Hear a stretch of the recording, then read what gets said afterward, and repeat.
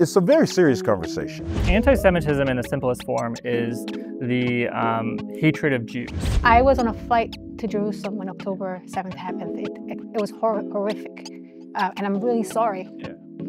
But, and, and there should not be a but. I wish we could just stand here and, and mourn with you and grieve with you. So um, I don't want to invalidate the trauma. Um, I, I believe it's, it's just traumatic what happened. But for a, from a Palestinian perspective, um, history didn't start October 7th. We have to make sure that when we speak, we begin to speak from a place of love and not hate. You know what I'm saying? Try to not come from all our biases in such a manner that we just begin to push our race and our beliefs more than we push the love of Christ. You know, as an African American, we live this every day.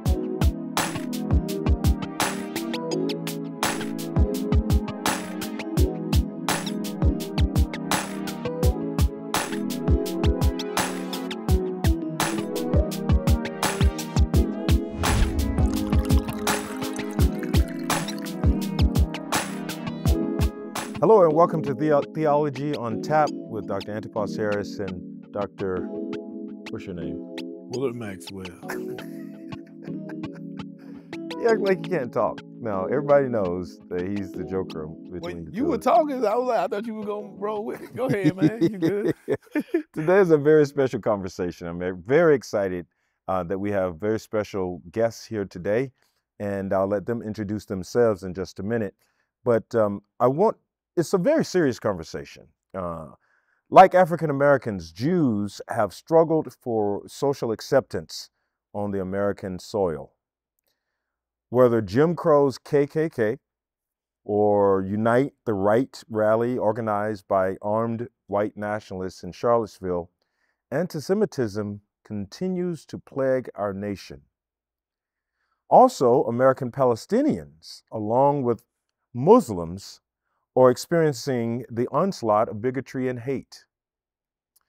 Whether 9 11 or the current crisis in the Middle East, the uptick of anti Palestinian hate and Islamophobia are real. While our guests are a Jewish representative and a Palestinian, the focus of our conversation is racial and religious hate as manifested here in the United States of America. We will not take on the specifics of the crisis in the Middle East uh, in this particular conversation, but we recognize that this crisis has stirred up hate in this country. That is the focus of our concern. The American promise is freedom and justice for all. Hate has no place in this nation or the world. We are here to raise awareness that American ideals are being challenged, people are suffering, even silently. All of us are here because we care about our communities and our collective society.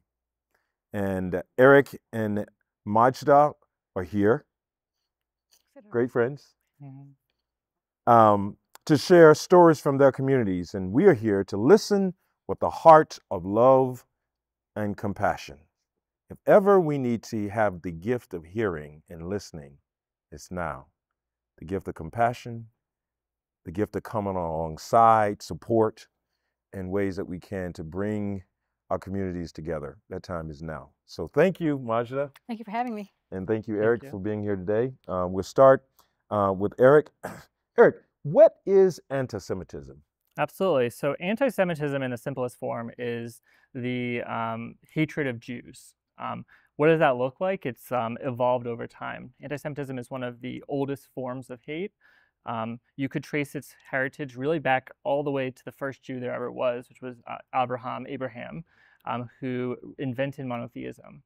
And that distinction, that um, particularism, that, that he separated himself from the rest of civilization, kind of created the Jewish people as standing a little bit different, a little bit off. Um, and that distinction has led to anti-Semitism, anti-Semitism throughout the ages. Um, the most common um, form of early anti-Semitism um, was religious anti-Semitism um, that happened um, shortly after the birth of Christianity.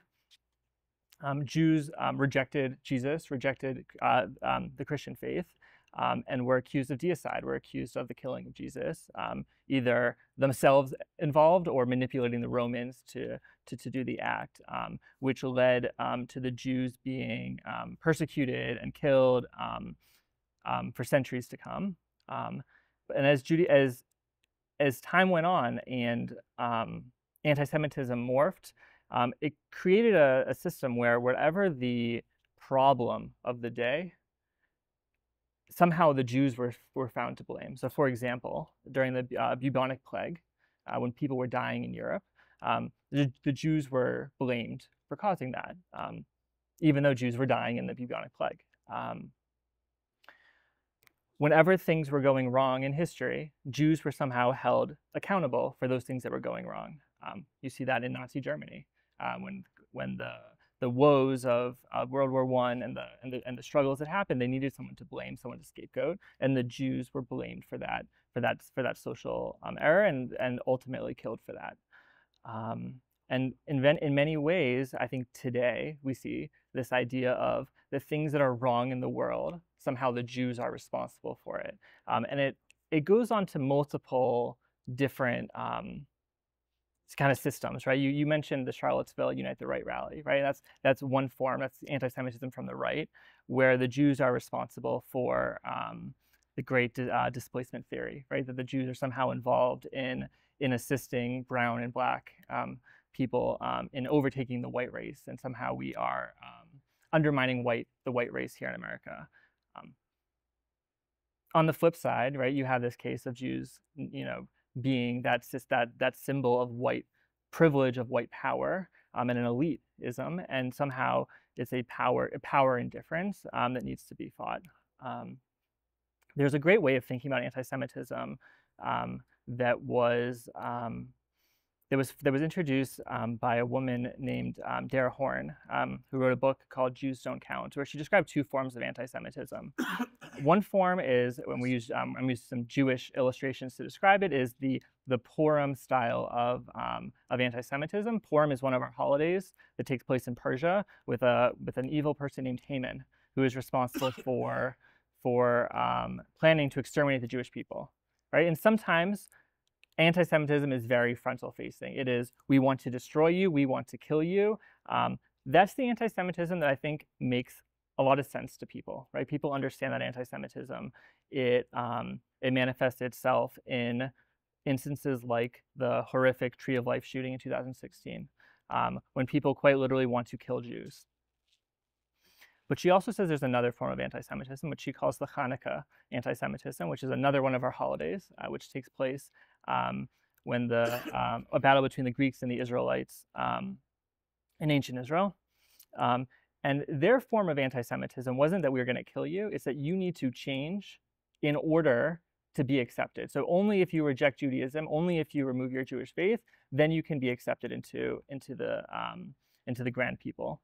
Um, and that's an anti-Semitism we're seeing today as well, where we're seeing that Jews are being asked to leave some of their beliefs, leave some of their uh, deeply, deeply held ideals um, at the door if they want to participate in the grand, um, in, in, in, grand society.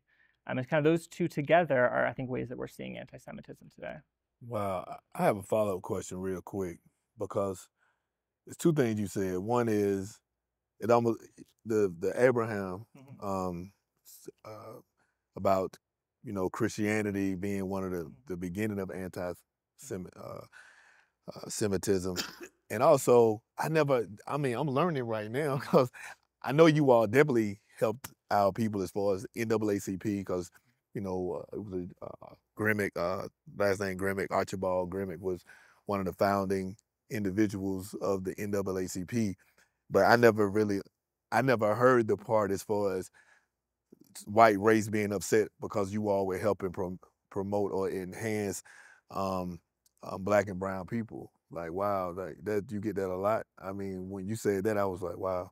Yeah, so that's one of these, you know, these white nationalist uh, forms of anti-Semitism that we see. Um, if you looked at the shooting, so right after the Tree of Life shooting in Pittsburgh, there was a follow-up shooting in, in, a, a, synagogue in Poway, California.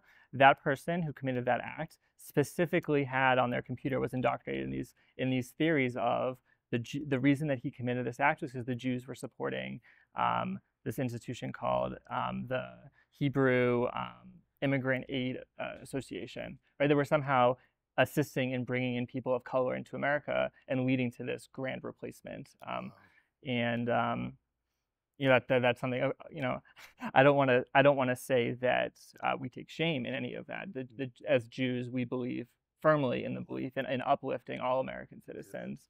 Um, of every color. I, will just, you know, I'll just, I'll just share one other thing, which is I think people forget this, and because you know, there's, there's some high-profile Jews. Jews are often seen as being um, bigger than we actually are. We, we make up 2% of the American population. Right? We are tiny. We make up 0.02% of world population. There are very, very few Jews in this world. If you did a, uh, a link of world religions, the most important religions in the world, even though everyone would say Jewish, probably number three, we don't compare on the list. Um, and even though we make up um, 2% of the population here in America, uh, we're, um, we receive 55% of religious-based hate crime. And so there's a disconnect here, you know, between the size of our population and what we actually, you know, are accused of and what people think that we are. 2%? 2%, yeah. I learned a lot here, man. Thank you, Doc. I feel like I'm back at Oxford. I have a follow up question here. Um, you said that a lot of the anti Semitism sort of born out of the first century with the idea that Jews killed Jesus.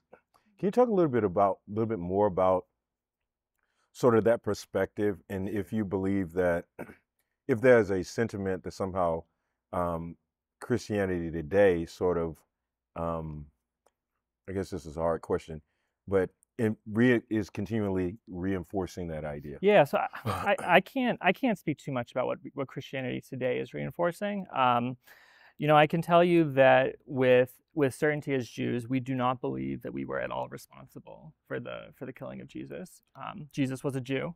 Um, he was a person who thought differently. He was certainly rejected by by the by the rabbis of his day. Um, but we do not believe that Jews were at all involved in, in any form of his persecution and ultimately his killing. Um, that being said, I think I think churches have come a long way in changing some of the sentiment that they had. Um, I'm thinking of the Catholic Church has made headway in in coming out vocally against previous accusations they made against Jews. Um, so I don't think that you know necessarily that you know that the that the idea of deicide plays into everyday anti-Semitism today. Um, but it certainly does. You know, I remember my mom as a child telling me that she was called a, a Christ killer as a kid. I've been called a Christ killer. Um, does that fuel and, and incorporate and, and is the, the, the central reason anti-Semitism exists? No. Um, but that certainly was a fueler for many for many generations throughout the Middle Ages. Yeah, no, that's good to hear. I know that there were some Christian groups, or groups that professed to be Christian, that supported Hitler.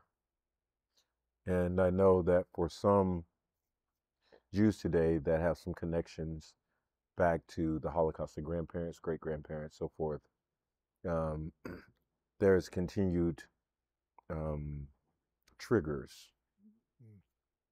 Um, and it was instructive for me to learn that that uh, so, I, I, and I think that as Christians, it's really important for us to continually say that we reject that form or expression of Christianity. I think just to add on to that, though, something that Jews also recognize. Um, I'm not familiar with Jewish groups that supported the, the, Nazis. I am very familiar and acknowledging and grateful for the Christian groups that rescued Jews during the Holocaust. Yes. And that is something that we are um, internally grateful for. Um, in our Holocaust Museum in Jerusalem, Yad Vashem, we we have a whole you know memorial to what we call um, the righteous among the, the, the nations.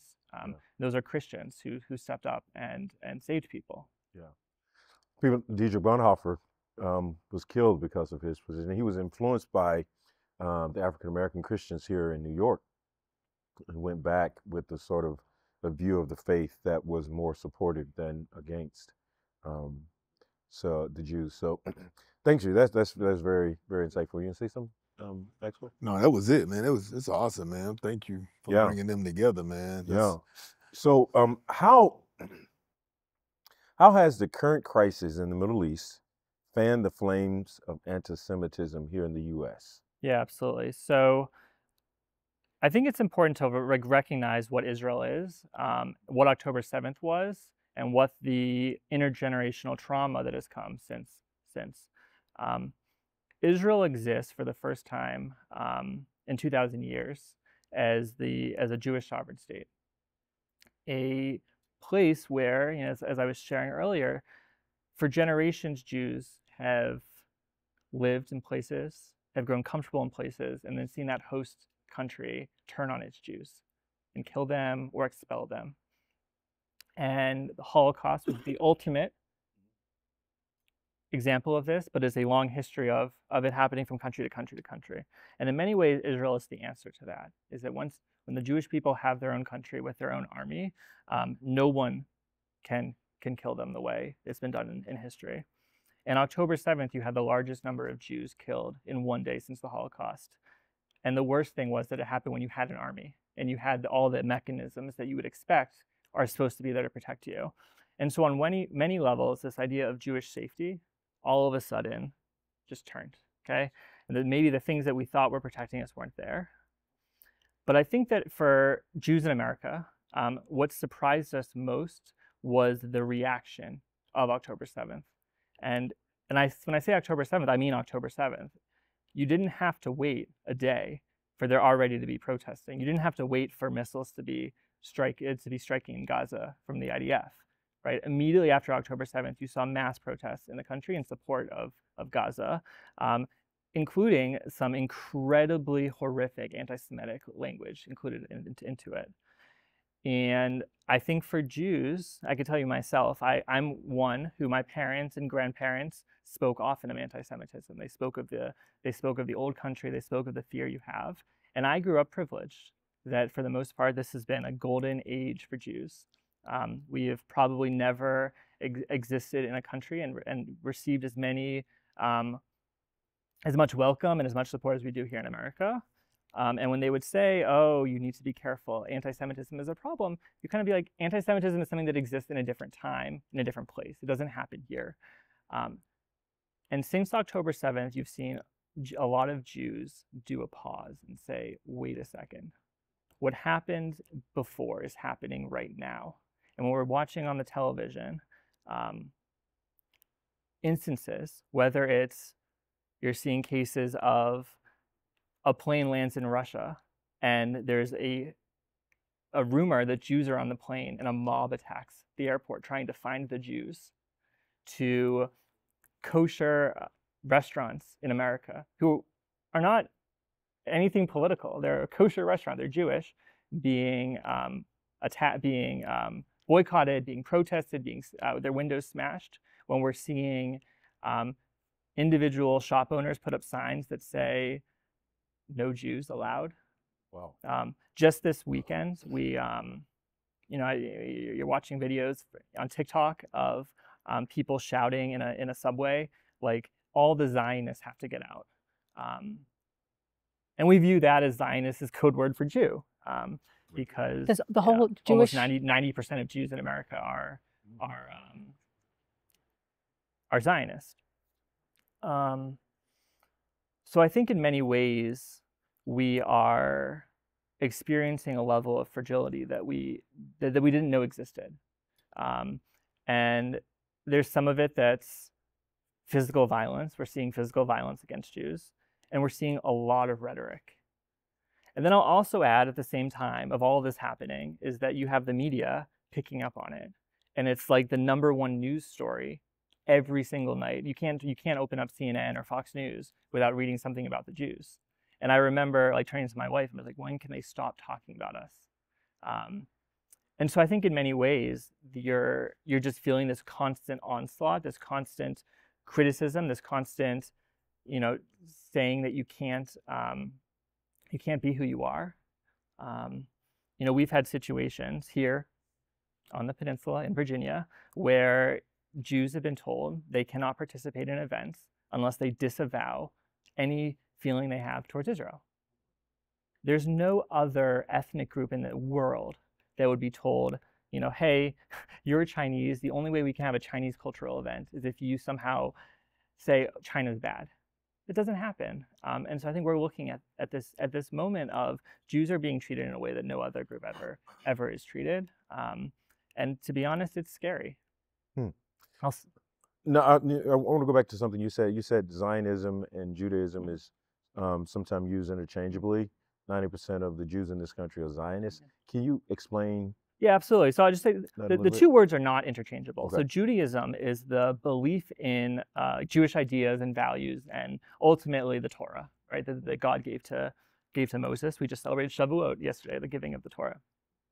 Um, Zionism is the belief in self determination that Jews have a right to a state in their ancestral homeland. They're two different ideas, but they're also linked. So Judaism has has the connection to Eretz Israel, to the land of Israel, intertwined throughout. Um, our Siddur, our prayer book, where we pray from three times a day, includes constant prayers yearning for return to Israel.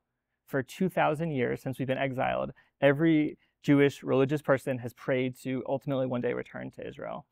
Many of our holidays are routed around um, Israel. We just celebrated Shavuot yesterday, which is the harvest holiday, um, where we celebrate the wheat harvest in Israel. Um, on Passover, which we celebrated a couple months ago, um, we celebrate um, the exodus from Egypt, the leaving, um, um, the freedom from from Egypt, but at the same time, the journey to Israel. Mhm. And we end our service um, on, on Passover as uh, Lashana Haba Yerushalayim. Next year, may we celebrate in Jerusalem. Um, so all of our, tr- many of our traditions and um, and cultural um, celebrations are all linked to the land of Israel. Um, I would even suggest Judaism, which comes from the word Judah. Judah is the, the kingdom of Judah. Um, Mhm. Everything about Judaism is linked to Israel. Um, as I shared, you know, close to 90% of Jews say that believing in Israel is an essential part of their Jewish identity. Um, it's it is linked.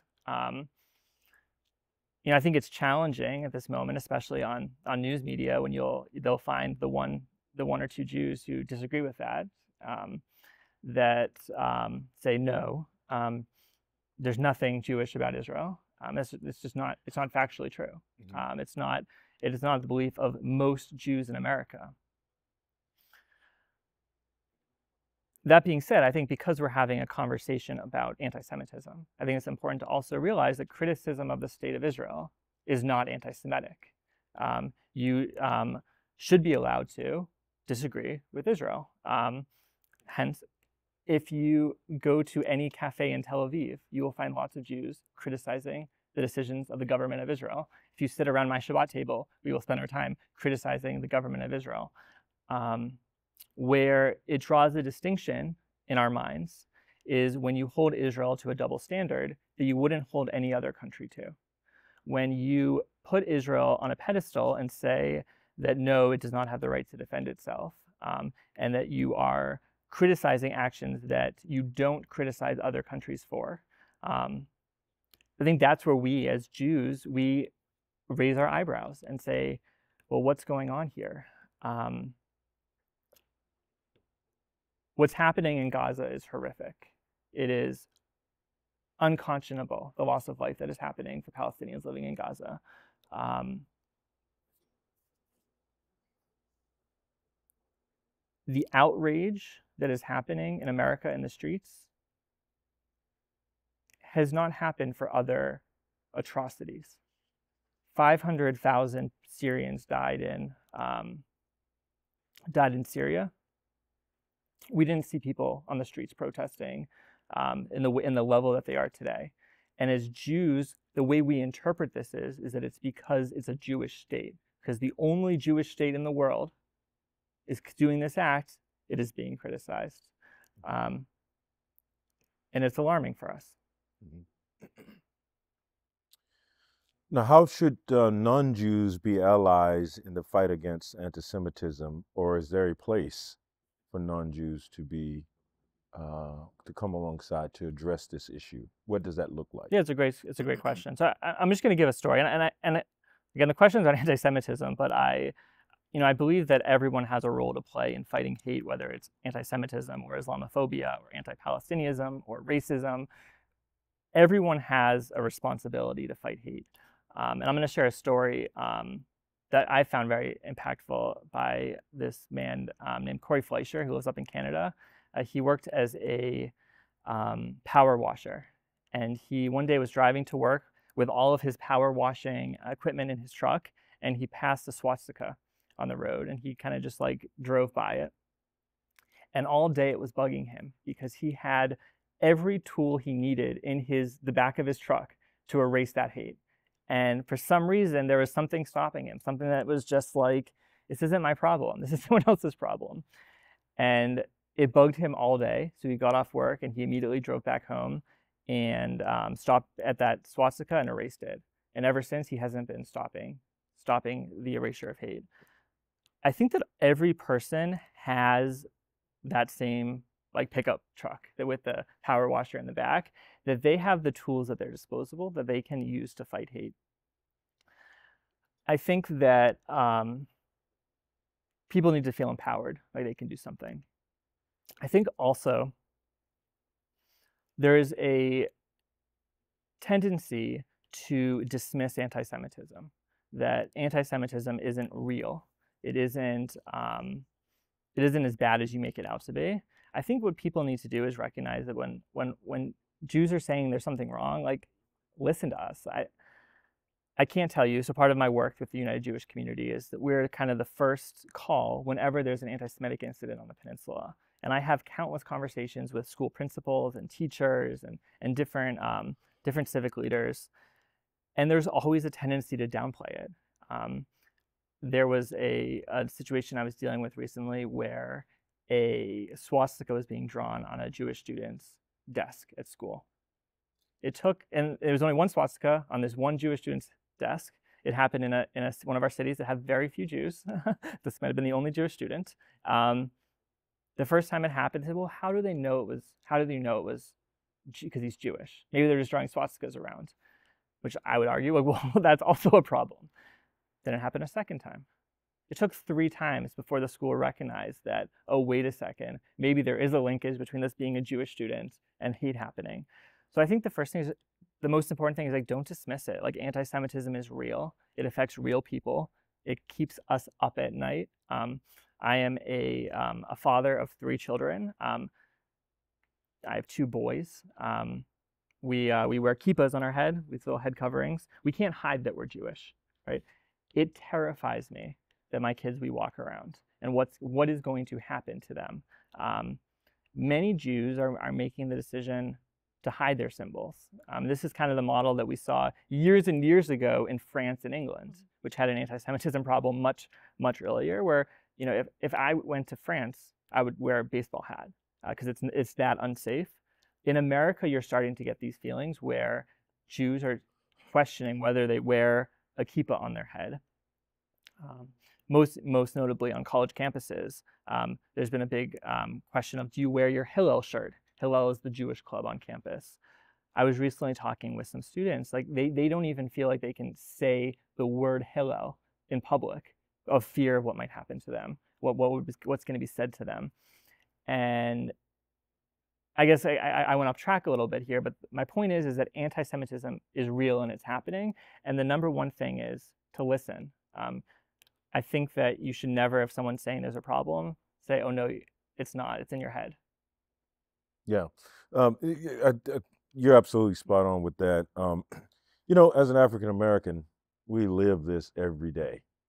Um, my ex-wife was a was a teacher at the time, and um, she's um, mixed Hispanic, and so she was headed to work one day, and she apparently accidentally cut off a guy, and he um, rolled his window down and gave her the middle finger and said, "You effing n word."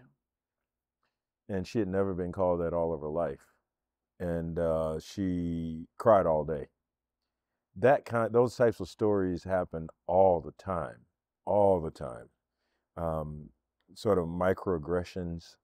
Um, uh, so I know that the feeling of living uh, always aware of who you are.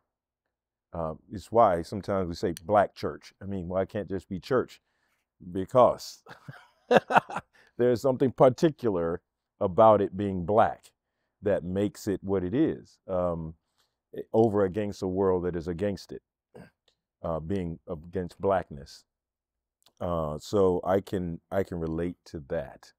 Um, you got something to say about that? Well, this is good for me because, and I know we need to get to um, Ms. Majdah, but I this is good for me because my interpretation until because when someone's going through something, I respect it because a lot of times people still don't believe black people get shot by the police when you still see them on TV getting shot by the police with their hands up and no weapons, and you wonder how can this white person go out here and kill 20 people and get arrested alive and a gentleman who hadn't even committed a crime you know is is dead?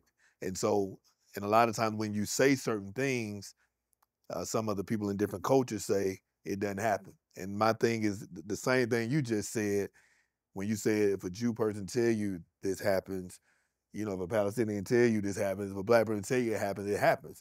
Because if you respect that person and you you feel like you respect their their personality, you respect their character. When we say it happening, it's, it's happening. So to hear this is is is because black comedians, preachers, a lot of us eh, they'll say, "Man, don't say nothing about Jews," because I mean, not even if it's a joke. Like I'm talking about when you joking because you joke about cultures when you a comedian. I'm just gonna stick with the comedian piece right now you know, a lot of times, you know, you hear Dave Chappelle or you hear Chris Rock, they be like, I don't know if I need to say this because, you know, if you say something about black people, uh, Palestinian people, white people, a lot of people scared of, to talk about Jews because they feel like that's when they'll get canceled, even though it's a joke. So to hear you say that is is is education for me because I knew you all, you know, I know you all go through things like we go through things. I know the Palestinians go through things as, as we go through things.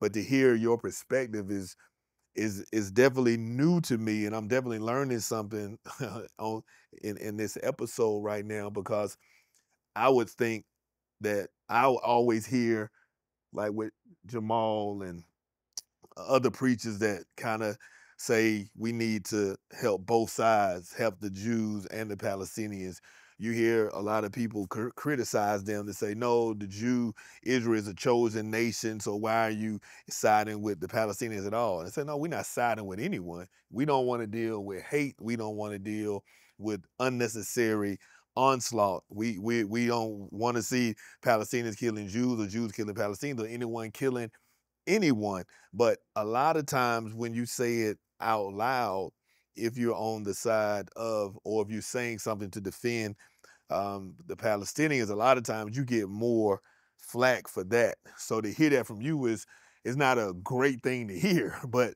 to to hear your pain and you go through it is enlightening for me because I really didn't know that you all went through that. I feel like a white person when they say they don't know be going through something. but at least at least I can admit that I don't know. You know what I'm saying? like I didn't know. So I definitely, you know, I apologize for my my ignorance as far as you know i didn't say anything like oh i hate jews or anything wrong but in my mind just my thought patterns i would think that the palestinian was going through more because people always call you all the chosen people you know going by the bible or whatnot and anytime i heard anybody say anything to to side with the palestinians i always heard more hate than if someone says something on the side of the jews so i'm i'm just glad you enlightening me and educating me. So thank you for so being. I, I think that there's like you know I think there's elements in um, again I'm not the expert on Christianity. You guys you guys certainly are. I think that there are differences in the way that Christian denominations approach Jews. Um, I'm not so talking I think, about, I'm talking about people. Period. People. Period. Yeah. So so you know I. So, so I think that in general, though, at, at the the the base of what you said, I think in general, I think we need to see more embracing of like humanity and the humans yes. of people, right? Like hate anywhere is horrible that needs to be uprooted. It doesn't matter if it's against Jews or if it's against Palestinians or if it's against African Americans or if it's against Muslims yes. or you know fill in the fill in the name. Yes. Um, we need to be taking a stand, and it doesn't matter on a conflict. And at, the end of the day, there's you know a conflict happening thousands of miles away that is horrible and um, and ultimately will end um, in peace soon with the return of hostages. Um, however, hold on Do you really think the peace once the hostages? What happens then? Like this, this Do I do I do I think or do I yearn? not yearn, but like not just the hostages. Like Yeah. we can't go back to before Yeah. October seventh either. Yeah. Like we cannot go back. And I think that maybe that's. I'm sorry. No, no, no, no, we need a dialogue. No, that, yeah, I yeah, think I'm, that I'm is. Listen, I was on a flight to Jerusalem when October 7th Yeah. happened. It, it, it was hor- horrific. Uh, and I'm really sorry. Yeah. But, and, and there should not be a but. I wish we could just stand here and, and mourn with you and grieve with you. So um, I don't want to invalidate the trauma. Um, I, I believe it's, it's just traumatic what happened. But for a, from a Palestinian perspective, um, history didn't start October 7th. The, the violence and the, the no peace um, we didn't have peace before October 7th. There, there was violence before October 7th in the, the, in the West Bank, um, the set- settlers and things that were happening. We have a very far right government right now. Um, I am I'm from Jerusalem, uh, and and so I saw the violence differently. But but you know, since 48, Palestinians have not had peace. Um, and that is something that we cannot ignore in this discussion either. If we're going to have peace, then let's have peace. And we have to talk about Israel um, as it is created today. As a, you know, I, I understand the Jewish people want to have a safe place. I understand that. I understand the, the that thought process after the Holocaust. Uh, but as a Palestinian, um, many feel that that came on the back of Palestinians.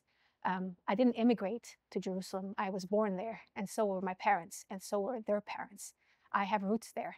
Um, you have Jewish roots there, um, but I'm from there, and I, I, um, we have to address that part. There will be no peace unless we talk about how do we live in that small piece of land between the Jordan River and the Mediterranean Sea. How do we um, how does an ethno state exist? Because that's what it is. Israel is a Jewish state. It's an ethno state. Mhm. How how can we have conversations about how does that exist and ensure that people there, whether they are Palestinian citizens of Israel, whether they are East Jerusalem Palestinian residents uh, who live within Israeli territory and cannot even vote, how do West Bank Palestinians uh, have you know get to live there and have equality and have um, freedoms, and how do Gaza residents who are Palestinian uh, live there? Until we have that discussion, um, I, I'm so happy and I pray for the day that the hostages come back home. Um, and I pray also for the, you know, over 4,000, 5,000 Palestinians in Israeli detention centers who have not been uh, charged with a crime. They have no access to lawyers, um, who've had to deal with that even before October 7th. Um, I guess the point is like, unless we talk about the roots causes and until we, we, we deal with the real elephant in the room, there will be no peace. We will continually have cycles of violence. Um, and, and in summary, um, for me, history didn't stay, start October 7th. There was never any peace to begin with. Can I ask you a question? Because you said something about the no voting piece. When I went to Israel to do a tour with Dr. Guns, I had we had a Palestinian um, guide, a Muslim, and we had a Christian guide on another bus. And so I was I was on the Palestinian bus first. Anyway, long story short, he was telling me, and I want to know if this was true because I've said it before.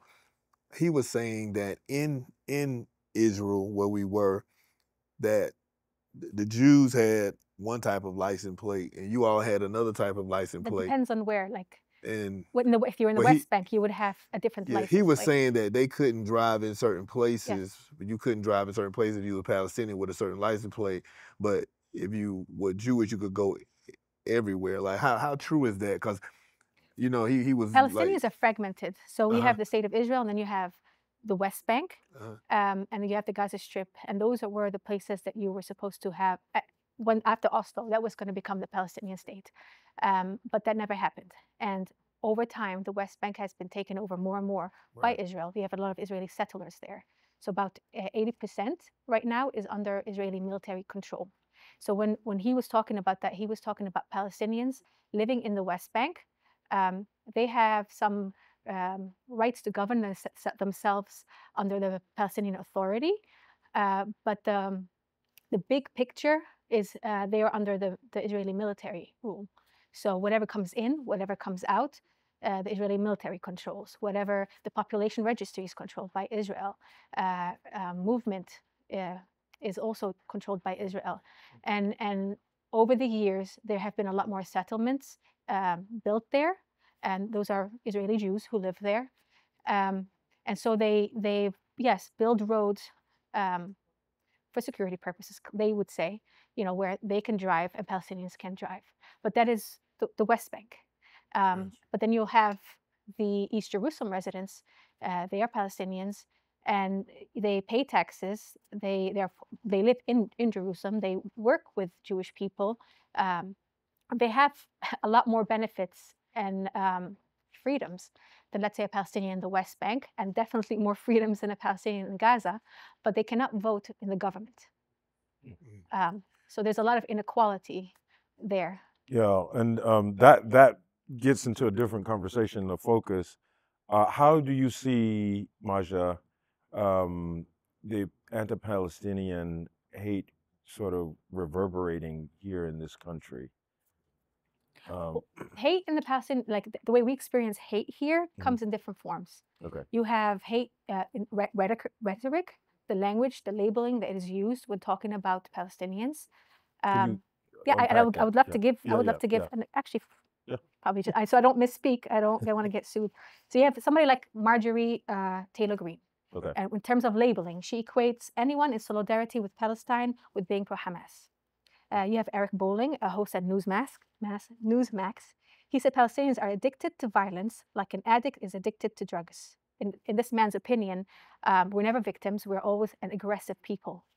Um, you have Dan, Dan Gainor, uh, he's a freelance opinion editor at Fox News, and he called Palestinians and Arabs barbarian pigs. We're dirty animals. Um, he said that on the news? Yes. Wow. You have Charles Kirk, the president of Turning Point USA, which is a Christian organization. Uh, he said last week that a vast majority of Muslims don't hold Western values, but rather have a medieval worldview. He also re- referred to Representative Ilhan Omar, who happens to be Muslim, as an active threat uh, to the United States who hates this country. And it's this, this language, um, it's used to create this perception in America about Palestinians and about Muslims. But the problem is it doesn't even stop there because it becomes violent. Mm-hmm. Um, after October 7th, there was a seven year old boy in Illinois who's Palestinian, stabbed to death 26 times by his seven years old, wow. 26 times stabbed by his landlord, who in the police reports um, admitted that he was um, enraged because of you know news coverage. Um, you had three Palestinian boys in Vermont who were taking a walk after Thanksgiving din- dinner. And one of them was visibly Palestinian. He was wearing a keffiyeh. Um, they were shot. One of them is uh, paralyzed today.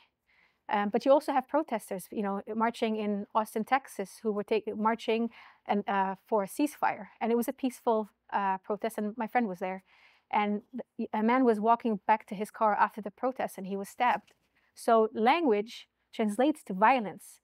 Um, but we fight. So it also creates this environment of being really, you know, I thought twice about coming on the podcast. I don't want to put a target on my family. I don't. Um, I don't want to be labeled. Uh, so I'm afraid to, you know, to speak and talk about my experiences because I don't want to be labeled. Um, and I'm, I'm also, I was, I thought twice. It took me months before I put a small Palestinian flag in my front yard. Um, I was really afraid of what my neighbors would think. I was afraid of um, losing my job, or, or you know, I'm a freelancer, so job opportunities. Am I really afraid that my husband would lose his job? Um, because we hear of the stories uh, in our in our community about people who have lost their jobs. Um, another form of hate is doxing. You have well-funded organizations like the Canary Mission, uh, and that that organization has existed for years, and it targets mostly Palestinians who are very critical of Israel, who might be involved with the BDS movement, who might be organizing in college campuses uh, to create Palestinian chapters, um, who want to see a change in our um, foreign policy in the U.S.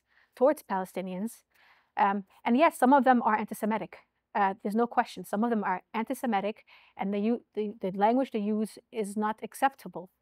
Um, but that it, it, it could be somebody who's organizing to make a change for the community, and it could be somebody who's literally anti-Semitic. You end up on that list with a picture of your face, like um, they take a picture of your face from social media with all your identifying information, and it leads to blacklisting in uh, in the job in jobs.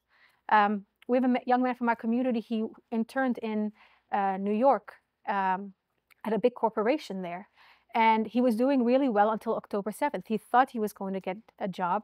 Uh, he didn't get it, and he asked why.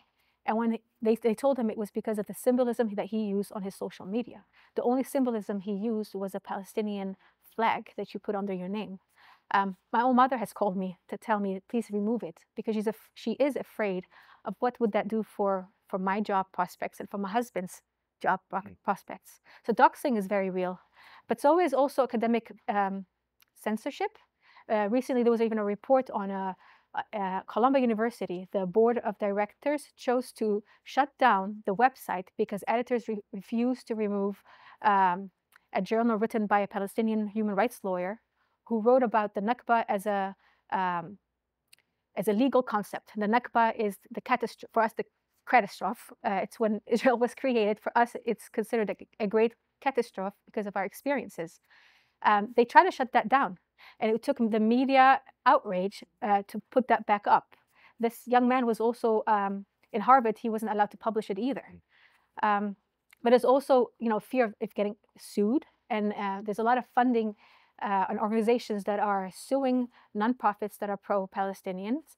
Um, they they're going after them with claims that some of these uh, organizers at, at the college campuses are the Hamas wing of uh, the foreign Hamas wing, you know, propaganda wing of Hamas. Um, they're very loose accusations. They probably will not hold in court. Uh, they will not win. But that's never really the goal. The goal is to intimidate. It's the goal is to make us use our very limited resources to defend ourselves, to ruin, destroy our reputation. I, I haven't, I haven't donated to any cause when it comes to back home because I'm afraid that one day it will come back to bite me and I will be labeled a pro-Hamas supporter, and I am absolutely not a pro-Hamas supporter. so, so, so, so um, thanks for that. I, I think it's important that we understand the language, right? Mhm. Um, what is Hamas and what are Palestinians? And you mentioned Muslims, and it's like, are they all the same, or are they like, you know, Hamas, Muslims, Palestinians? If Palestinians, uh, you can be a Palestinian um, M- Muslim, you can be a Palestinian Christian, and Christians there are uh, from various um, kind of like ethnic backgrounds. Mhm. You could be a Samaritan. In Nablus, we have the Samaritans. Mhm. It's a small community, but they still exist. Mhm. It would be great if you guys visit, uh, So, go there. but but But just to so that's the Palestinian the people. Um, and then Hamas is um, Hamas was really after this. It, it, it really grew more. And I'm again, I'm not an expert on um, on.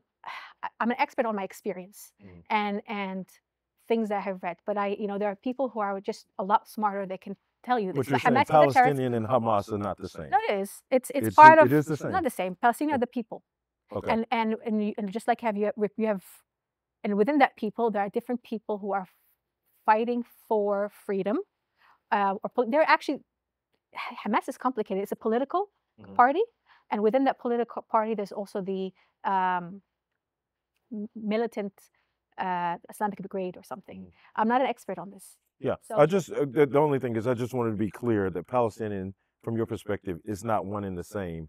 No because The you can be language can be used. Palestinian yeah I'm not I'm Palestinian I'm not Hamas, I'm not a Hamas member Yeah. I'm not a like a Republican member or a Democrat member, you know, Oh, yeah. or and I'm not a KKK, you know, Right, I could right. I'm just American. So it's the same thing. It's I'm like American. saying white people and KKK is the same. Exactly. It's not.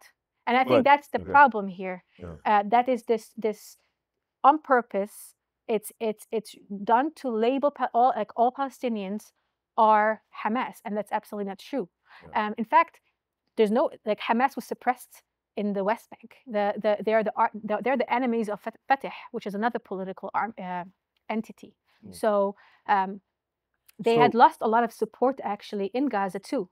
Mm. Um, So, so, so in in in terms of the way the experience here in the country of hate, it you're the way I understood you is that people assume that because one is Palestinian, one is all support of Hamas. They're not. That- they, they don't assume. They are being told.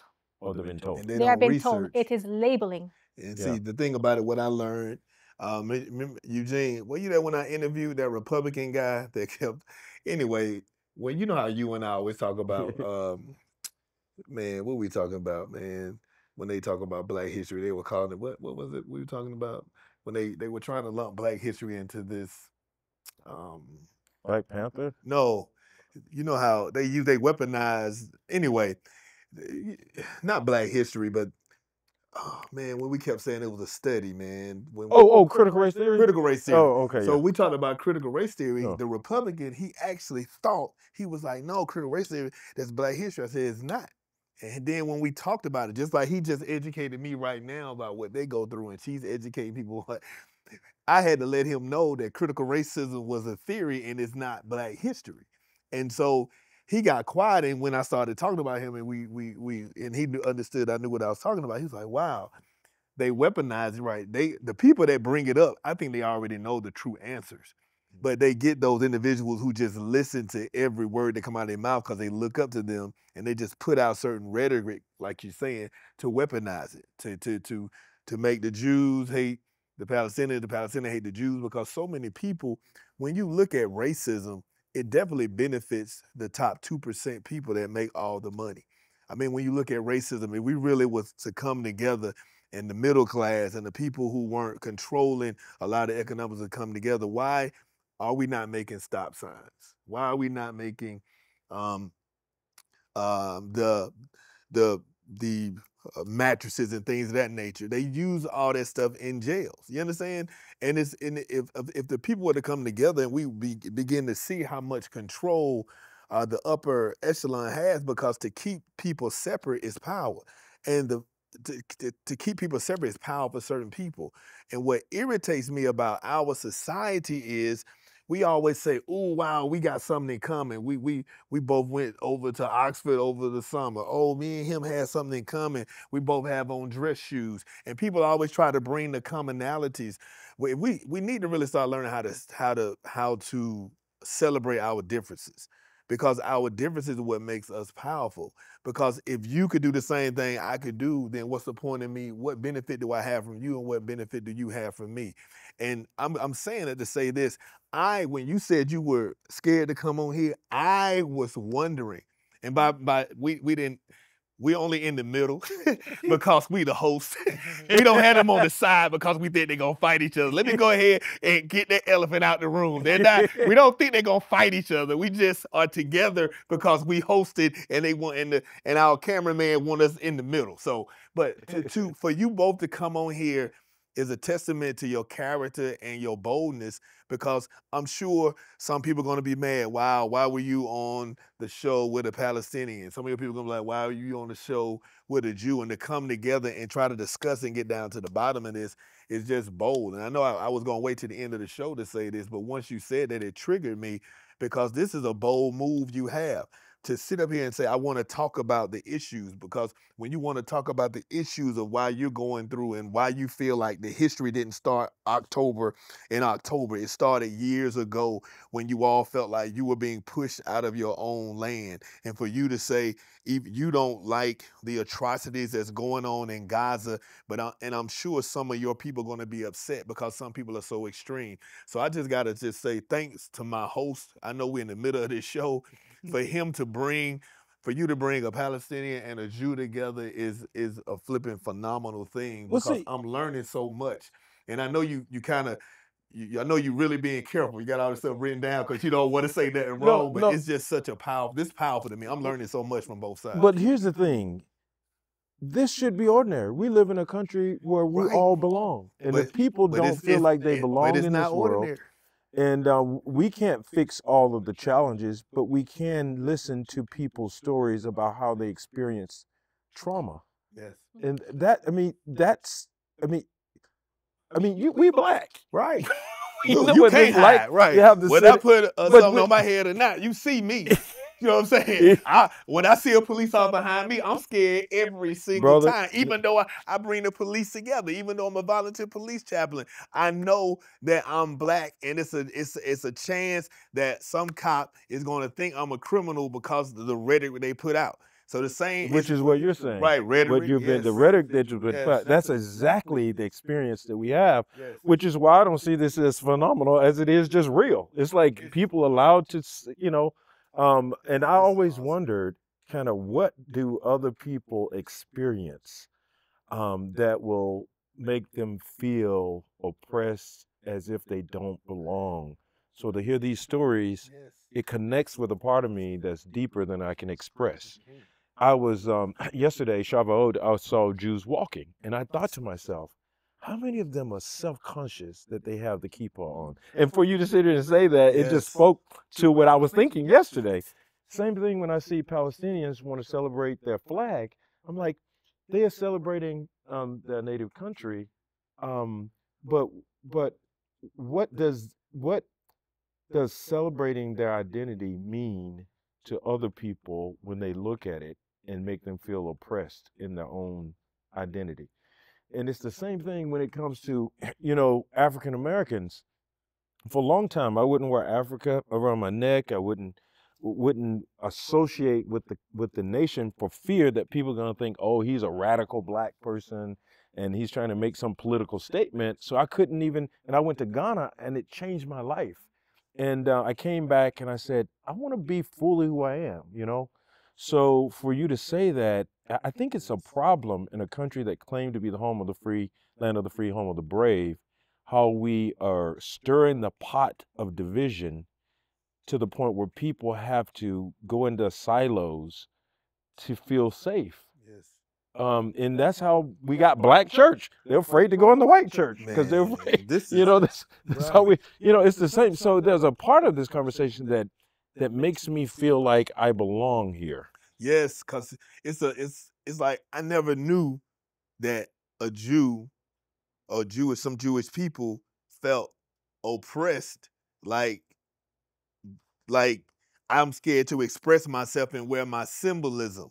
You understand? I understood the Palestinians for what goes on, but I didn't understand it. So to hear you and to hear you, and then to me, whenever you talk about black love, and whenever you talk about when we talked about critical race theory, when we said it wasn't a black history, it was a theory, YouTube put a violent banner on there.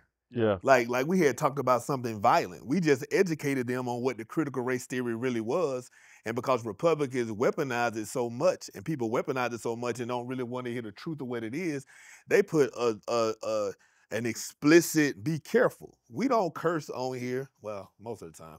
Well, we we He edited it out, no, he don't. So it, it, it, we, we we don't we don't do we well we definitely don't promote violence. So to mm-hmm. have that explicit be careful, you need to be 17 or older to listen to this when we just talked about the critical race theory. Yeah. So I understand what you go through, understand what you go through because everyone says they want we supposed to be the melting pot, but are we really the melting pot or are we the separate pot? Because no one really wants you to embrace your culture to me sometimes unless it's just uh, white And- America. and- And, and, I mean- America was started on people who were outcasts from their other countries. It ain't like they were the, the elite individuals who everybody wanted to be there. They were the people that the king didn't want in the country anyway. But yet when other people uh uh uh, migrate here or immigrate or uh, migrate here and become immigrants or whatnot, then you want to down them because you feel like they should have stayed where they were. Well, you didn't.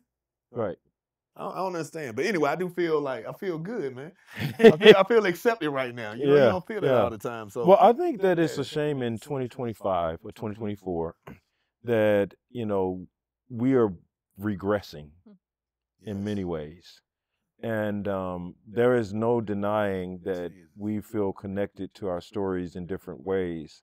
But we have got to come to a place where people in this country should not feel threatened for being in their own skin and believing their own um, ethnic or religious identity. Um, that's not what religious freedom is about right, right? It shouldn't be like that. And and for a group of people to be labeled in the ways that you've said it, the news the news does this. The news has a way of framing things and making and and sort of um, creating this cesspool of hate in So, many so ways. does the church. and the church and the church. You know, I wanted to go back. Glad you said that, and I want to hear more about what you mean by that. While you while you think about it, let me just respond to this side of, Okay. of to um, the Jewish community. The reason I ask you, in what way does the um, Christianity continue to support anti-Semitism? And you were very gracious. I have been increasingly encouraging students in Christian ministry formation. Sometimes when preachers preach, we say we refer to groups that may have been um, um, Jesus's interlocutors in ways that sound like a whole group of Jews. Like instead of saying the Pharisees or the Essenes or his interlocutors, I've heard preachers just refer to the Jews. They don't really mean it the way it sounds, but it but Most of it, the ones, it communicates. most of those are the ones that don't really read their Bible, so they don't really be knowing Pharisees and Sadducees and the Sanhedrin. They don't know, they don't understand all that. So Yeah, go yeah. ahead, but you But- right. But my do. point They is- everybody in the same pot. But my, but my point is that those subtle ways contribute to yes. the big problem that we have. If language matters, It How does. we how we refer, how do how we? That's why I said Hamas and, Palestinian, because language matters. You know, I don't want to try to say American. Oh, he's a Republican because he's American. I I I am not. I- yeah, you. Yeah. no, he might be, but I'm not. But I'm just saying. Know. Whatever. See how So- the rhetoric, you see, you see how he coming at me with language. See, he would do it to his own people. Man. I know, feel but my point is, my Eric. point. I digress. But and there's nothing wrong with being if one is. I'm just saying that the two are Democrat and American. Don't they're not the same. So there are nuances there, right? There are there are particularities there that I don't think we give the benefit of other people, right? And the meaningfulness of one's tradition and their history and what formed them is part of who they are. And sometimes that's held in tension, right? Sometimes that's held in tension. And I think that we have to get become a more sophisticated society where we can hold that intention and and maintain the unity and the love and have the conversations that um, that are necessary for clarity. So thank you. Were you going to say something about how Christians? No, you're a Christian, Mhm. right? Yeah, Christian Palestinian. Christian Palestinian. Okay. So how do I'm not a Palestinian Christian. I'm just asking. Oh, I'm we can. Who cares, just, really, right? just messing with you. Go ahead. He said language Here's the thing: the church doesn't even most most of the church doesn't eat the to churches in the Western world doesn't realize that there is such a thing as a Palestinian Christian. They don't realize that there are Christians in Gaza, that there's churches in Gaza, and that there's Mhm. schools in Gaza that are Christian run. Um, so, d- you want me to answer Well, that? because you they know? think Christianity started here. That's why they That, that, to that read is the book. yeah Plug no Christianity right started in the Middle East by a Jewish man Yeah. uh, you know, so we cannot sit, you know, there, there's this thing that go around. They talk about, you know, Jesus was um, Palestinian. That's just, it's foolish talk. Okay, it's just, a, it's just a thing to say, but but it is. That Christianity was born in the Middle East, in that piece of land, and since the day it was born, there have been Christians there, and um, Palestinian Christians are some of the earliest Christians, and they've held a presence there, and they've been go- they've gone through various different, um, say, occupations, um, but they're still there. Uh, so that's something that we cannot forget. Um, to be Palestinian Christian, um, it's to be discredited, it's to be silenced, um, it's it's to In be ignored. Yes, sir. Okay. It's to be ignored. Um, you know, I, I go to church and it's either complete silence or it's complete uh, support, a very vocal, loud support for Israel. Um, it's it's to listen to rhetoric and and what's hardest in the Christian world here is that they use scripture. Uh, they either are going to use scripture to um, demonize. The latest trend in the uh, in today here is is to talk about the Amalekites and compare the story of the Old Testament to what is going on now.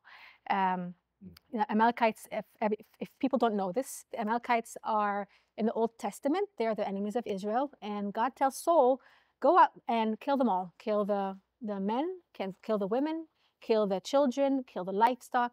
Don't leave anything behind."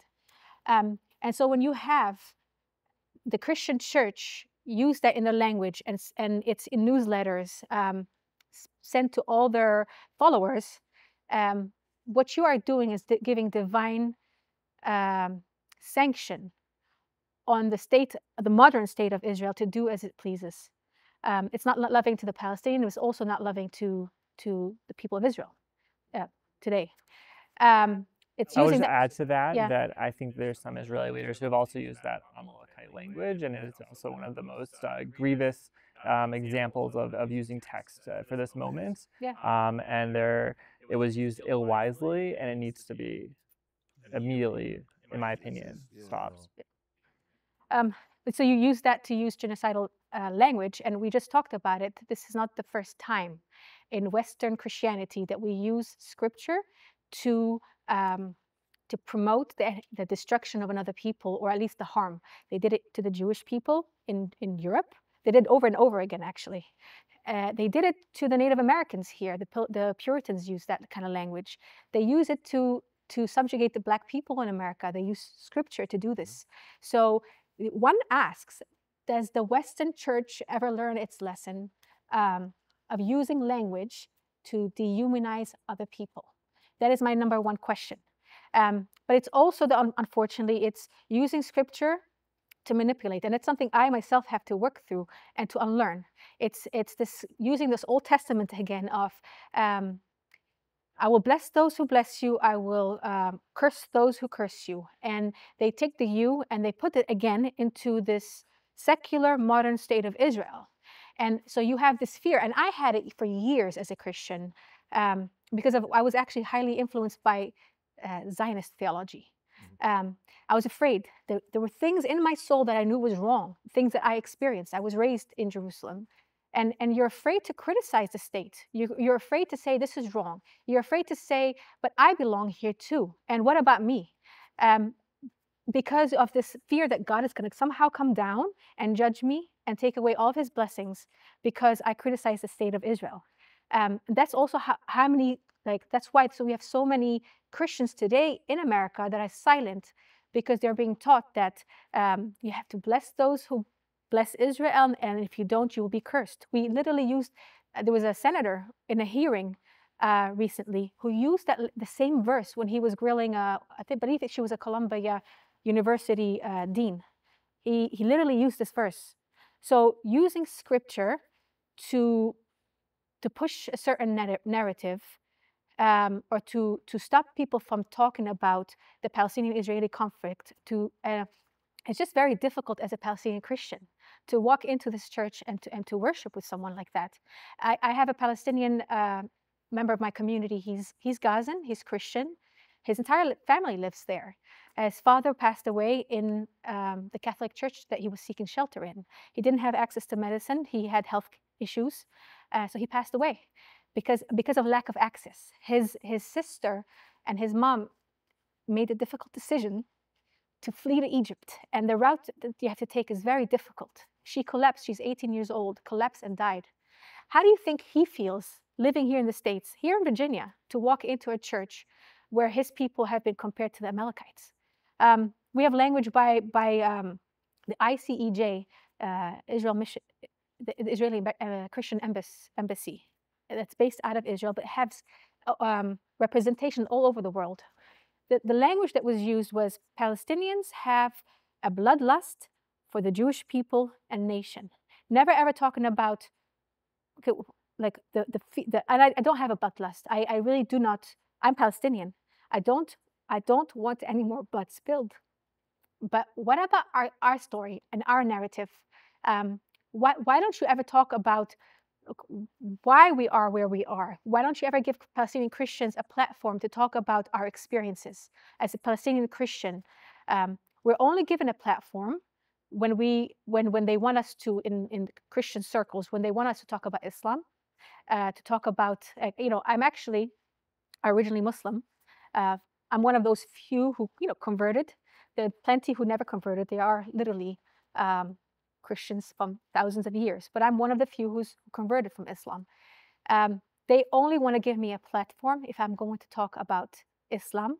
Uh, and to break it down in American language, they want me to be the Candace Owens of the black community. You know, They only want us- Shots fired. No such shots fired. Yeah, Listen. There are don't know you there are conversations. there, there are conversations that need to be had about Palestinian society. There are. Yeah. Uh, there are conversations to be had about Hamas and their use of violence. Uh, You know, we, we should be having these conversations. But in the Christian community, that's all you want me to talk about. You never want me to talk about my experience or my, my friend's experience in the West Bank or Gaza living under Israeli military rule. That's the big no. Um, I've walked into churches and when I've introduced myself and said I'm from Palestine, and I stopped after that, I start using neutral terms like Jerusalem. I was told to my face, there's no such thing as Palestine, there's no such thing as Palestinian. And then I was told about, you know, this. Um, they were amazed because they visited Israel, and it was this barren land that, you know, Israel has done so much to to get it to where it is today, and they have. It's it's you know Israel today, as we know it, they've done a lot in that land, but it certainly was never ever barren. There were a people group that lived there. But you know what? when I went on the tour to Israel, the only reason they let us go to Palestine is because guns took us, and when guns went over Uh, there, Gun- yeah, uh, Reverend Guns. Yeah. You- we- Let's be clear about what you I know. I was Yeah. throwing this So, language of guns Bishop- around. Bishop, well, guns, Reverend Jeffrey Guns. When we went, yeah, I got you. we went over there with Jeffrey Guns. Uh, Education Opportunities. This a it's an organization there that gives you these tours. The only we, reason we was able to go to Jacob's Well and other places in, Pal- in, in Palestine is because uh, uh, Bishop Guns had so much pull with them and favor with them because um, they um, because he pretty much single handedly kept them in business when there was some war times going on before. He still was taking trips over there, and so they kept the business going. And so a lot of them don't understand uh, what's in Palestine or what's over there because they most of the tours won't take them into Palestine because they feel that it's too dangerous. So a lot of times when people speak, they speak and thinking they speaking from an educated place, but they're actually speaking from ignorance because they really didn't have the experience of it. They only going by what they hear from other people and don't read and research, you know, on on their own. So I definitely under can can can can understand what your frustration with with that. Um, I w- uh, to add to that, I think because the after the Holocaust, um, the Christian Zionism as a theology permeates American uh, the American churches, whether they know it or not. Yeah. Um, and that I think that is the the issue, um, and it's unfortunate because Christian Zionism is a is a it's almost like a political uh, theology that is more concerned about ushering the Messiah, you know, the second coming of the Messiah and end times than it is kingdom building. Um, which I would that that to me is the biggest message. It's what is our Christian witness to the world, to to Palestinian Christians who are grieving, um, and to our Muslim brothers and sisters. Like it's it's as a Palestinian, I feel so embarrassed um, to know that in my in my name, in my faith's name, um, we are more concerned about um, ushering in the second coming of the Messiah than we are about teaching um, the gospel, uh, the love of Christ, um, and and that the fact that we are all made in the image of, of Christ. And I wish that there was more, um, there were more Christian leaders that will give Palestinians a place to have a, a platform to share their narrative, uh, but they would also also guard their language because they've really harmed the Christian witness in the Middle East. But I'm gonna tell you another sorry, another thing that's going on. Christianity here, Western Christianity, you know, as I say, my brother wrote, is Christianity a, white man's religion? Definitely get his book. It's good. You probably need a thesaurus in a dictionary when you read it, but because he uses these big words, but it's definitely a good book. It took me a long time because it, it- it's so many big words in there. Seriously, but when you when you think about um, the the the weaponization of Christianity, it's been weaponized here. First of all, people think Christianity started here. I'm glad you said where it started. It did not start in the West. We think it started in the West because the dominant culture says it. The dominant culture, Christians aren't thinking about the Jewish person, not thinking about the black person, not thinking about the Palestinian. The, even the image of Christ, the white, blue-eyed Jesus, has been weaponized. First of all, God said, "Don't even make no images of me." But we do that because He probably He understood that when you do it, you weaponize, and that's the Jesus that they know, and that's the Jesus that they want. Now, if you were to get up here and say vote for this person or vote for that person, you might lose your nonprofit because they say you can't do political things. Now you can bring candidates in, let them talk, but you can't tell them who to vote for. But when Trump was running, because he stood for this the evangelical type representation of what they wanted, all the big time, a lot of niggas say all, See, I almost did all, like yeah, I almost did all. a lot of the evangelical churches and, and, and pastors who I never seen involved in political things at all pulled together was telling everybody to vote for Trump. No one threatened their nonprofit status. No one threatened their 501c3, but they galvanized. Even now, even though he's been convic- uh, convicted as a felon or whatnot, they still are coming together. Like people I never have seen say anything political have been coming up and saying how the judicial system needs to be revamped. They didn't speak when Trayvon Martin got shot. They didn't speak when when things in Gaza happened. They didn't speak when when Israeli and things of that those things happened. But but but when Trump was convicted, here they come talking about the judicial system in America. But out of all the inequality, the judicial service uh, system in America is so unbalanced. They, they, they even let you know they have the scales unbalanced. If you look at the scales of justice, is is one high and one low. They letting you know that it's two different types of justice here in America. They giving you the imagery of it. And so when I look at it, when you look at it, it's not just it's, it's missing you, and it's going to miss the more lower not not my thoughts. The more lower in their mind you are on the totem pole you know, as far as dark and as far as Palestinian and as far as different countries, as far as the, the further you get away from the westernized look, the more oppressed I believe the Christian church becomes with the rhetoric sometimes. Because even if you look at the movie, The Book of Eli, it shows you how you can weaponize religion so much. They were fighting over the Bible all that time so they could take these words and be able to manipulate and control that city and control that town. So we as Christians, we as preachers, we as as as as as elders, we as rabbis, we have to make sure that when we speak, we begin to speak from a place of love and not hate. You know what I'm saying? Try to not come from all our biases in such a manner that we just begin to push our race and our beliefs more than we push the love of Christ. And I just see how I never realized how like sitting well, right for here, Christians, I can see the love of Christ. Christian, right? yeah. But I'm just saying, you know. But, But- even even even uh, Gandhi said it'd be more Christian if it wasn't for the Christians. So well, well, you so, uh, just so, go- uh, and we got to wrap this up because we want to, um, because it's getting late, and I want to make sure we acknowledge Shabbat is coming on.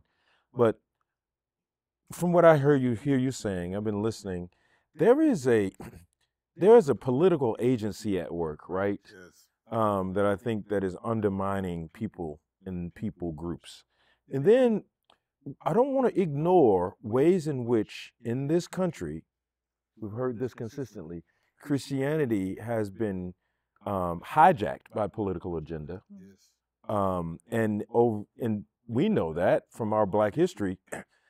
Um, culture has hijacked Christianity over and over and over again, and used Christianity as an agency for political um, expediency. And I think we have to be responsible to that, acknowledge it, and also cry aloud, like the prophets say in the Hebrew Bible, cry aloud and spare not, right? We have to speak to that, right? There were, uh, slavery was sanctioned by Christian thought. I don't think it was proper Christian thought. Um, and now you're saying that even in Christian churches, there are people, there are people in the pews who, and mm-hmm. I, and you said it right. There is a political agency at work that is among those Christian thinkers that are ignoring the people who they should be extending love to. And I think that's important. And I think when we talk about anti-Semitism, something similar has happened. Something similar has happened. There's an attack on a people historically in this country that has not been taken seriously, consistently seriously. In the same way we hear in your story, it's the same thing in the Jewish community. People not listening to the stories and taking it seriously. There should not be a Jew walking down the street afraid to wear his kippah for fear of who's going to shoot him and why. That's crazy. And you can raise a European flag. You can raise the, uh, I've seen many of the Brit flags. Nobody ever calls that into question. And so somehow to raise a flag of your home country out of um, sort of identity association suddenly means that it is a is against something else. So one has to shrink oneself in order to validate another. And I think that we really got to think that very seriously. And those of us in leadership positions need to be cognizant of how we are being used in political arms to harm people. And you really helped me because, you know, they have, you know, you have flags, you know, you have the kippah. And it's funny with black. And the Israel flag. They Israel be able to flag, yeah, I'm just I'm just Yeah. saying I'm not brave enough to put a Yeah, flag on my saying lawn. they- but see, he didn't talk about it, so I just I just talked about. I'm really talking about what he said he wears and Yeah. what she said she she flies. And the thing about it is that we all are in a country. I mean, we are theologians. We are um, professional people. We are successful in what we do in life. You know, we're not struggling from check to check or anything. Well, uh, Yeah. uh, speak for yourself. Whatever, man. You- Unless I you just wanna- sold you a big house. So don't lie. We in church this time. We ain't at my house. So you don't, don't lie in church. so, but the thing about it, so when you start, when you fly your flag, when you fly your, I'm gonna say flag since he want me to tell you flag, even though he told you he, he wears kippah, but he don't really fly his flag. But with, when you We talk about an American but when you flag, talk about do you always agree with what America's doing? I don't fly American flag. Let me talk. So, so I don't I don't have a flag. You don't have a flag. I mean, at the end of the day, this is the thing. But when you talk about black love and you talk about love for yourself, some people feel like you attacking white people. If I say I love black people, I say I love my people. If I say, hey, I'm proud to be black, some people take it as if it's an attack on them. Just as they take it when they fly, when she flies her flag, they take it as an attack. When he does his symbolism, they take it as an attack. It's not that we don't love what we are or don't love our country or don't love our fellow citizens. It's just like you said, we have our own skin, we have our own personality, we have our own identity. And what I what I really hope in this country is that Dr. King's dream comes fruition where you know you are able to express your your full self without feeling oppressed. And I I I don't want to say it makes me feel good because it doesn't, but the, to hear other people from different ethnic groups and different nationalities, different religions. I know you're my religion, but we doing certain things, and and we all are going through the same thing. And I'm not saying I'm proud that we have company, but it makes me understand that other people do understand the struggle of my people because there's other people in America that's not just black that go through the same things we go through. Because I definitely didn't understand that Jews went through what we go through. I knew, yeah, I know they do have anti-Semitism, but I didn't know people didn't feel like your stuff was real. You understand? Because they tell us they'll tell they, they don't say anything. Most of the people I'm around don't say anything about if if Jewish people teach about the Holocaust or what happens. But if we talk about Black history, they want to they want to erase it from school. They want to erase it from the history. And when we remember that we came from slavery, they act like it's something we should just forget. So to hear you talk and hear you talk, it's, it's been very eye opening. It's been I'm not gonna I don't want to say refreshing, but it really helps me see the struggle that America is going through, not just with my people, but with all people. So thank And you. so many people are suffering silently. And I think to have an opportunity to share your story should not be, one should not feel threatened as if they're going to lose their job. We feel this way. Yeah. Certain things you can't say because you know, you know, put- keep your, when, you know, when I was growing up, they used to say, keep your head down, boy. don't Don't you talk, you talk too much. You be quiet now. Don't you be quiet. You up at that college, Yeah. now you be quiet. You just say yes or now. You got your head Right. say yes or Right. because if you speak your truth or your story or your thoughts, and it, it, it is traumatic. It is so traumatic. don't be too smart. I know you was going crazy. They'll tell you don't don't say it too much because you don't want to show up and show out and look like you embarrassing uh, the white person that's that's over you. And so you had to a lot of times dumb yourself down to be accepted because if you saying something that makes sense and it's smart, they feel like you being a smart, a smarty, like Yeah. like in a different way. But to have Anyway. civil discourse, and we need to be able to man. disagree. It's a, to be to disagree is not a bad thing, um, and to not see things the same way needs to be seen as a gift. Yes.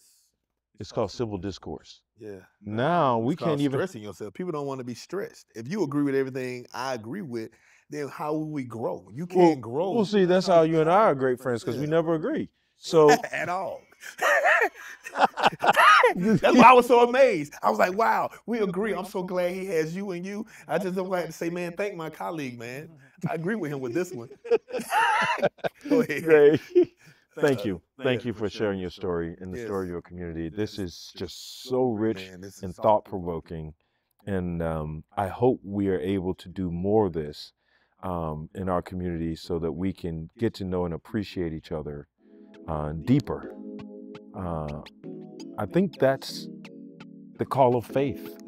No matter what tradition, the call of faith is to love and to express that love in ways that faith has not always cultivated. Um, so, thank you, awesome. Eric. Thank you. Thank you, Thank you. Liza. Thank you. Yes, thank you both.